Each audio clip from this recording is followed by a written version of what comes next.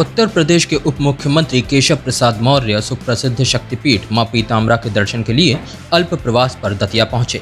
निर्धारित समय से लगभग चार घंटे विलंब से पहुँचे उप मुख्यमंत्री ने माँ पीताम्बरा के दर्शन पश्चात धूमावती माई के भी दर्शन किए। तत्पश्चात पत्रकारों से मुखातिब होते हुए उन्होंने कहा कि कोरोना जैसी महामारी से लोगों को राहत मिले, इसके लिए माँ के दरबार में हाजिरी लगाने आया हूँ। 2022 में फिर भाजपा की सरकार प्रदेश में बने व रामराज का सपना साकार हो। उत्तर प्रदेश व मध्य प्रदेश सहित पूरे देश में सुख समृद्धि एवं संपन्नता का खुशनुमा माहौल बने माई से यही प्रार्थना करने आया हूँ।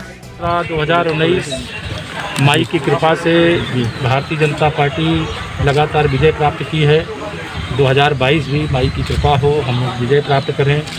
सुशासन रामराज माँ के भक्त जिस प्रकार के शासन की अपेक्षा करते हैं वह शासन निरंतर जारी रहे। यही प्रार्थना यही कामना माँ के चरण को कोरोना।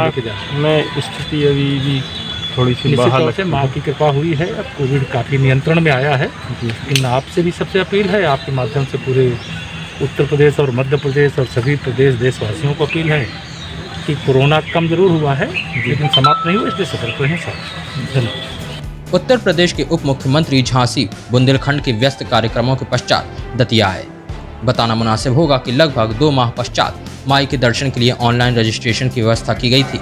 माई के दर्शन के लिए पहले ही दिन लगभग 400 दर्शनार्थियों ने ऑनलाइन रजिस्ट्रेशन कराए जिसमें से सिर्फ़ 180 दर्शनार्थियों ने दर्शन का लाभ लिया।